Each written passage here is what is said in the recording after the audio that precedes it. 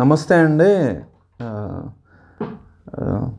Okay in conversation with Kumar one of my friends మాట్లాడతారు అమరావతి గురించి conversation అంటే మేము ఏమనుకుంటున్నాం అన్న అభిప్రాయాలు తెలియజేస్తున్నాము. మేము ఏ పార్టీకి చెందిన వ్యక్తులం కాదు కాబట్టి న్యూట్రల్ ఒపీనియన్ సో దట్ నా సబ్స్క్రైబర్స్కి ఆయన కూడా సబ్స్క్రైబరే.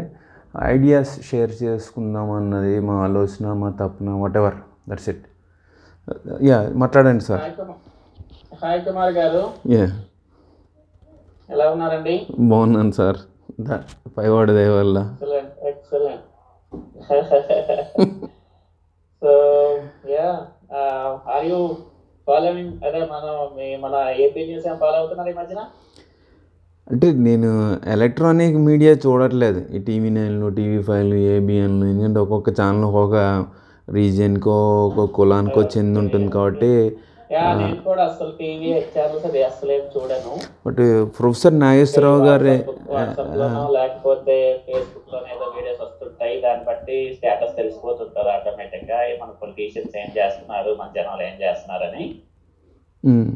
అయితే నా క్వశ్చన్ ఏంటంటే అఫ్కోర్స్ నేను కూడా అసలు ఏ పాలిటిక్స్ మీద ఏ పొలిటీషియన్ సపోర్టే కాదు. I'm very very very neutral ఎందుకంటే ఇప్పుడున్న పాలిటిక్స్ని. పాలిటిక్స్ పట్టుకున్నా లేకుండా జనాలు పట్టుకున్న దానివల్ల ఉపయోగం ఏమీ లేదు. వాళ్ళు ఏం చేయరు. నాకేమి అంత ఇంట్రెస్ట్ ఉండదు పాలిటిక్స్ మీద. బట్ కాదంటే ఏంటంటే ఈ గందరగోళం నడుస్తుంది కదా. అసలు ప్రాబ్లం ఎక్కడ అసలు ఏమి నడుస్తుంది? ఏంది కదా ఓకే అంటే దాని క్వశ్చన్ అడిగారు మీరు?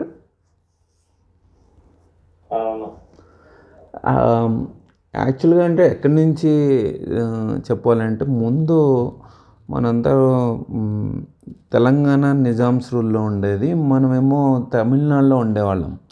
సో వాళ్ళు తెలుగు వాళ్ళని అంటే ఇష్టం లేక గెంటేశారు. గెంటేసినప్పుడు కర్నూలు క్యాపిటల్ ఉండేది. దాన్ని తీసుకెళ్ళి పెద్ద మనుషుల ఒప్పందం ఇవన్నీ పెట్టుకుని దాన్ని తీసుకెళ్ళి హైదరాబాద్ క్యాపిటల్ కింద మార్చారు. బట్ హైదరాబాద్లో వైఎస్ డాక్టర్ వైఎస్ రాజశేఖర రెడ్డి గారు మరణం తర్వాత వచ్చిన పొలిటికల్ వ్యాక్యూమ్ని మన కేసీ ఆనరబుల్ ముఖ్యమంత్రి తెలంగాణ ఆయన ఎన్కాష్ చేసుకుని ఆయన సీఎం సెపరేట్ స్టేట్ కావాలనే ప్రజలను రెచ్చగొట్టో లేకపోతే వాళ్ళకున్న తెలంగాణ ఉద్యమాన్ని మళ్ళీ ఇగ్నైట్ చేసే ట్రిగర్ చేసో మొత్తానికి స్టేట్ ఫామ్ అయింది. అప్పుడు మళ్ళీ గెంటేశారు. అప్పుడు పదేళ్ళు ఉమ్మడి రాజధాని ఉండమని చెప్పారు. మన నాయుడు గారు ఆ, ఏసీబీలో ఓటింగ్ నోట్లో దొరకడంతో రాత్రి రాత్రి అమర్న అమరావతికి వచ్చేసారు అక్కడ దాకా జరిగింది కదా వచ్చినప్పుడు ఆయన దాన్ని బిల్డప్ చేసి ఇదంతా. జనాలు తెలుసున్నదే. గ్రాఫిక్స్ అంటే తర్వాత స్టేట్ బైఫర్కేషన్ అయింది. ఆ తర్వాత అమరావతి స్టార్ట్ చేశారు. ఎస్ ఇంకా పార్టీలు మళ్ళీ ఎలక్షన్ అయింది. ఆ పార్టీ టీడీపీ పోయిన తర్వాత వైసీపీ వచ్చింది. అయితే ఇప్పుడు అమరావతి కాకుండా ఇంకొక రెండు రాజధానులు పెడదాము. ఇది మూడు క్యాపిటల్స్. మూడు క్యాపిటల్స్. దాని మీద ఉద్దేశం ఏంటండి? అంటే పవర్ డీసెంట్రలైజ్ అవ్వాలి. ఇండియాలో power only prime minister chief minister district collector దగ్గరే ఉంది. పవర్ డీసెంట్రలైజ్ అవ్వాలి. క్యాపిటల్స్ కూడా క్యాపిటల్ ఎందుకు ఉండాలి? ప్రతి డిస్ట్రిక్ట్ ఇప్పుడు అమెరికాలో మనం ఉన్నాము. New York state capital forgot the name అండి. అక్కడ ఉంటుంది. ఆల్బనీ ఆల్బనీలో ఉంటుంది. ఆల్బనీ వెరీ స్మాల్ ఉంటుంది. క్యాపిటల్ అనేది ఎప్పుడు గవర్నమెంట్ ఎంప్లాయీస్ తక్కువ జీతాలు కాబట్టి వాళ్ళకి రెంట్లు అవి పే ఎక్కువ పే చేయలేరు కాబట్టి దాన్ని ఎకనామిక్ క్యాపిటల్ కింద చేయకుండా న్యూయార్క్ సిటీని ఎకనామిక్ క్యాపిటల్ చేశారు. ఆల్బనీ స్మాల్ అలాగా చేసినప్పుడు ఏమవుతుందంటే రేపు పొద్దున్న కంట్రీలు స్టేట్ కింద రెండు కింద డివైడ్ అయినా కూడా మనకి ఇండియాలో ఎగ్జాంపుల్ లాగా అంతా తీసుకెళ్ళి హైదరాబాద్లో పెట్టారు. తెలంగాణ సపరేట్ స్టేట్ కావాలన్నారు. ఇది ముండల్ లేని బాడీ అయిపోయింది కదా. ఇప్పుడు మొత్తం అంతా అమరావతిలో పెడితే ఏమవుతుందంటే రైతులు నష్టపోతారు. ఎవరైతే ల్యాండ్ ఇచ్చారో ఇన్వాలంటరీగా బట్ రేపు పొద్దున్న అమరావతి రాయలసీమ వాళ్ళు సపరేట్ స్టేట్ కావాలంటే రాయలసీమ వాళ్ళు నష్టపోతారు కదా. మొత్తం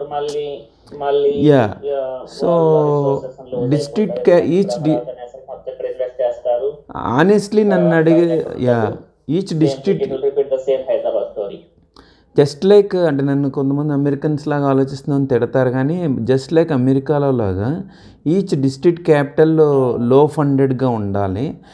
ఒక ఎకనామిక్ బిజినెస్ క్యాపిటల్లో ఉండాలి. అప్పుడు ఏమవుతుందంటే స్టేట్ ఒకవేళ థర్టీన్ జిల్లాలు థర్టీన్ రాష్ట్రాలు అయిపోయినా కూడా ప్రతి జిల్లాకి ఒక క్యాపిటల్ ఉంటుంది కదా.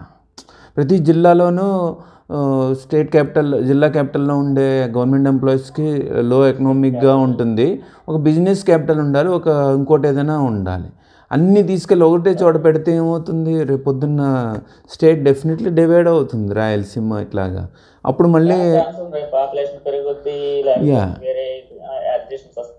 తర్వాత అంటే క్యాపిటల్ అయ్యే ఛాన్స్ వచ్చేసరికి మళ్ళీ నన్ను నా ఉద్దేశం ప్రకారం పదమూడు క్యాపిటల్స్ ఉండాలి సార్. మూడు కాదు. ఆయనని చాలామంది పిజ్జి తొగ్లక్ అని జగన్ గారిని తిడుతున్నారు. బట్ పదమూడు పదమూడు క్యాపిటల్స్ ఉండాలి. మూడు కాదు. నేను సీఎం అయితే పదమూడు క్యాపిటల్స్ చేస్తాను.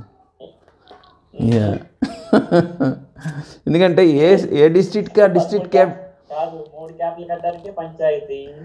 ఇంకా అవుద్ది? అంటే క్యాపిటల్ నా ఉద్దేశం ఏంటంటే ఓకే క్యాపిటల్స్ అయితే ఉండాలి.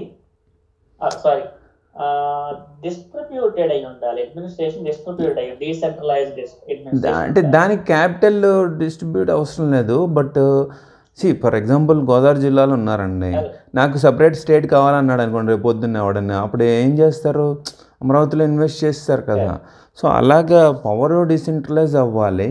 సేమ్ వే క్యాపిటల్స్ కూడా న్యూట్రలైజ్ అయిపోవాలి. ఎందుకంటే అంతా ఒకటే చోట ఇన్వెస్ట్ చేస్తే uh, పదమూడు డిస్ట్రిక్ట్స్లో కూడా పదమూడు క్యాపిటల్స్ పెట్టమనండి. అంతే మనీ తీసుకురండి ఇన్వెస్ట్ చేయండి. సో వాట్ ప్రతి ఏ డిస్ట్రిక్ట్ ఆ డిస్ట్రిక్ట్ డెవలప్ అవుతుంది కదా.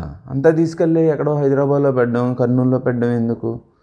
సో ఎవడికి వాడు డిస్ట్రిక్ట్నే స్టేట్ లాగా ప్రమోట్ చేయగలగాలి. అది నా కాన్సెప్ట్ బట్ అది ఇంకా ఎక్స్పెన్సివ్ అవుతుంది. బట్ ఎప్పుడే ఎవడు విడిపోయినా కూడా ఎవడికి నష్టం ఉండదనేది నా ఆలోచన. Okay okay.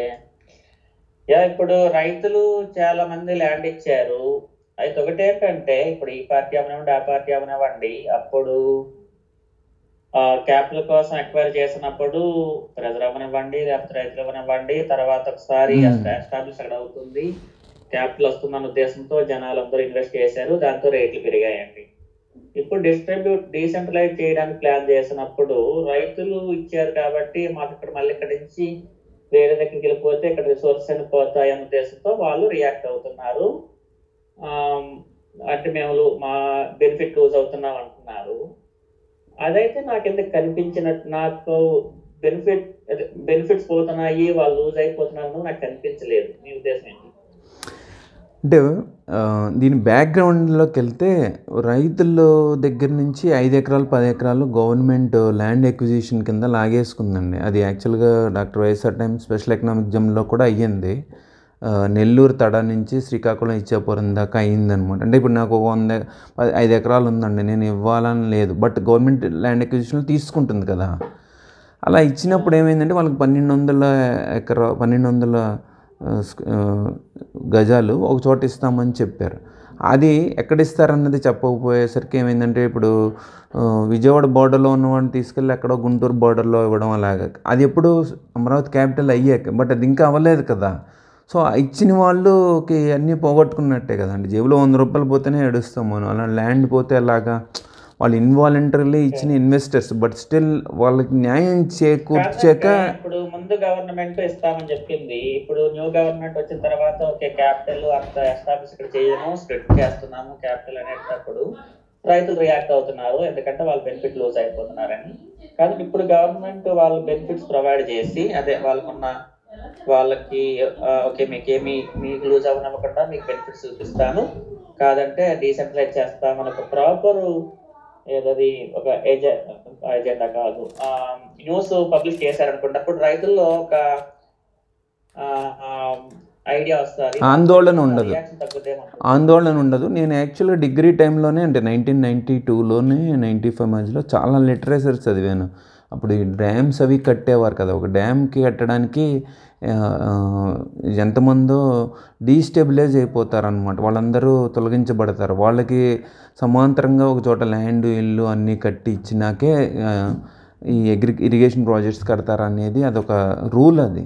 సేమ్ వే ఇక్కడ కూడా అలాంటి రూల్ ఉందో లేదో మనకు తెలియదు ఉన్నా దాన్ని పాటిస్తున్నారా లేదో తెలియదు గవర్నమెంట్ మారినా అది ఇంప్లిమెంట్ అవ్వగలగాలి. ఆ సిస్టమ్ ఉంది బట్ దాన్ని అబ్యూస్ చేస్తున్నారేమో అని అనుకుంటున్నాను. అది అంటే చంద్రబాబు నాయుడు గారు వచ్చిన జగన్ వచ్చిన నాకేమవుదన్న భరోసా ప్రజలకి వీళ్ళు ఇవ్వలేకపోతే రైతులు రైతులకు అది ఎవరైనా ఆందోళన పడతారండి. దాన్ని వాళ్ళకి ఆత్మవిశ్వాసం కోల్పోకుండా అందుకనే వాళ్ళు సూసైడ్ లెటర్స్ రాశారు కదా. ఆ ఆత్మవిశ్వాసం కోల్పోకుండా వాళ్ళకి విశ్వాసం కల్పించాల్సిన బాధ్యత కరెంట్ గవర్నమెంట్ మీద ఉంది. ఎందుకంటే it's- ఇప్పుడు ఈయన అడ్మినిస్ట్రేటర్ కాబట్టి ఇంకా ఈ హ్యాజ్ టు ప్రాపర్ ఫెసిలిటీస్ అన్ని ఏరియాలకు ప్రొవైడ్ చేసి మీరు అన్నట్టుగా ఏంటంటే అడ్మినిస్ట్రేషన్ డీసెంట్రలైజ్ అయ్యి ఇంకా నాలుగు ప్రదేశాలు ప్రాపర్గా బిల్డ్ చేశారంటే కొద్దిగా అన్ని అన్నిటికీ ఉపయోగ అందరికీ ఉపయోగపడుతుంది. ఎందుకంటే ఒకసారి ఒక అడ్మినిస్ట్రేషన్ ఆఫీస్ వైజాగ్ వచ్చిన అటు కర్నూలు వచ్చిన అక్కడ రిసోర్సెస్ పెరుగుతాయి యా అంటే అది హెల్ప్ అదే హెల్ప్ అవుతుంది ఇక్కడ ఉన్న జనాలకి. బట్ నాకు క్వశ్చన్ ఏంటంటే క్వశ్చన్ అంటే క్వశ్చన్ కాదు. Between the politics right current position ఇప్పుడున్న వాళ్ళు ప్రాపర్గా చెప్పట్లేదేమో. లేకపోతే ఓడిపోయినాడు టీడీపీ అనుకోండి. ఓడిపోయిన వాళ్ళు వాళ్ళు ఏదో ఇంకా ఏదో ఒకటి రేకెత్తించాలి అనేసి క్రియేట్ చేస్తున్నారేమో అనుకుంటున్నాను అంటే నాకు అర్థం కాని ఏంటంటే వీళ్ళు వచ్చి ఆరు నెలలు అయింది. ఆరు నెలల్లో వాళ్ళు ఏది చేసినా కూడా all oppositions not just TDP దాన్ని ఎస్పెషల్లీ టీడీపీ రాద్ధాంతం చేస్తున్నారు. వాళ్ళు బ్రీతింగ్ పీరియడ్ వాళ్ళు గాలి పీల్చుకునే టైం అయినా ఇవ్వాలి కదా. సో ఆ బ్రీతింగ్ టైం లేకుండా అంటే ఓడిపోయారన్న నిక్రోషం పవర్ పోయిందన్న బాధ అసంతృప్తి అదంతా వాళ్ళు ఏం చేస్తారా? మనం రెచ్చిపోదామా అన్నట్టు వాళ్ళ ఇంటి దగ్గర వీళ్ళు గుండెగన్నట్లా కూర్చుని చేయడం నేను న్యూట్రల్ వ్యక్తిగా చెప్తున్నాను. అది కూడా నాకు అసలు భయం అనిపించట్లేదు. అపోజిషన్ అపోజిషన్ రోల్ ప్లే చేయాలి కదా. తప్పు చేస్తే వేలెత్తి చూపించాలి. బట్ అసలు వాళ్ళు ఏం చేసినా వేలెత్తి చూపిస్తే ఎలాగా? ప్రజలు వాళ్ళని ఎన్నుకున్నారు? నూట యాభై ఒక్క సీట్లు ఇచ్చారు. అదొక ప్రాబ్లం అండి. చేస్తారు మీరు అన్నది నేను హండ్రెడ్ పర్సెంట్ అదే I mean, అంగీక- అంగీకరిస్తున్నా ఇప్పుడు పొజిషన్ ఉన్నా లేదు చెప్తున్నా సరే అపోజిషన్లో అసలు ఏంటి చెప్తున్నారు? అసలు ఏంటి అన్నది అసలు?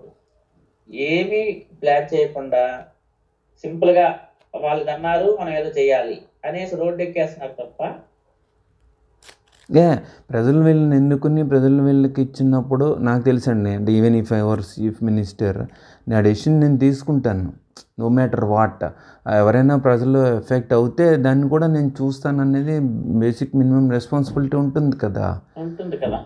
అది వీళ్ళందరూ అడ్డుపడుతున్నారు పొలిటికల్ గెయిన్ కోసం. ఇప్పుడేం ఎలక్షన్స్ లేవు కదా.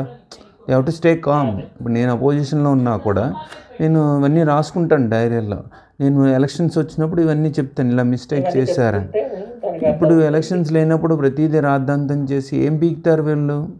ఇరవై ఉన్న ఇరవై రెండు ఎమ్మెల్యేలు కొనేసారంటే గాన్ కదా. ఉండడం ఎంతసేపు? బట్ అది కూడా అనైతికమే. బట్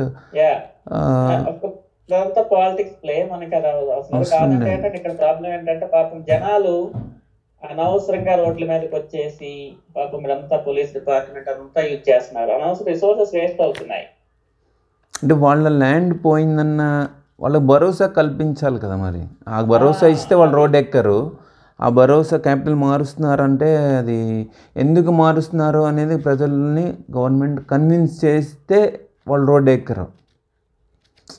సో ఆ కన్విన్స్ తర్వాత ఇప్పుడు మీరు ఫేస్బుక్లో చూసారు చూసారా మన ఇది మన వాళ్ళంతా అమెరికాలో ఉన్నారు. మన ఇంకా అక్కడ మల్టిపుల్ గ్రూప్స్ అయిపోయినాయి అక్కడ. ఇక్కడ అంటాడు త్రీ క్యాపిటల్ సపోర్ట్ అంటాడు ఇంకొకడు అంటాడు సింగిల్ క్యాపిటల్ సపోర్ట్ అంటాడు one capital support Amaravati support అంటాడు. ఎవరు ఎవరి సపోర్ట్ ఉన్నా? As educated right all educated మనం చదువుకున్న వాళ్ళం కాబట్టి అసలు ఏం జరుగుతుంది? ఏముంటే బాగుంటుంది? అన్న ఒక్క అసలు కానీ పోస్ట్ కానీ ఉండదు. America yeah. మావాడు నేను వాడు చెప్పింది నేను ఆలకించాలి నేను అదే ఫాలో అవుతా.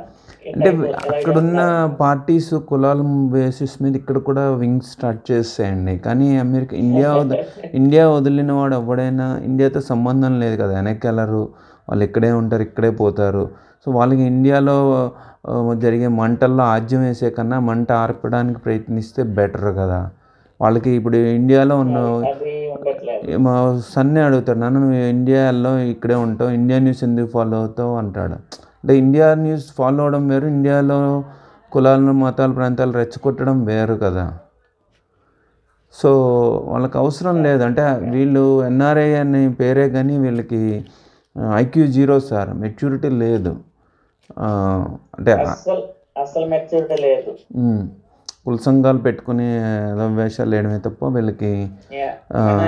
మన- జనాలు బయటకు వచ్చిన వాళ్ళ మైండ్ అయితే ఇంకా అక్కడనే ఉంది. ఇక ఇండియాలో nine tenth class student better. అమెరికాలో ఉన్న ఎన్ఆర్ఐల కన్నా. వాళ్ళకి కొంత అవగాహన మెచ్యూరిటీ ఉంది. వీళ్ళకి అది లేదు. యా. చూద్దామండి ఏమవుతుందో. We'll wait and see time only decides. Yeah. ధన్యవా ధన్యవాదాలండి.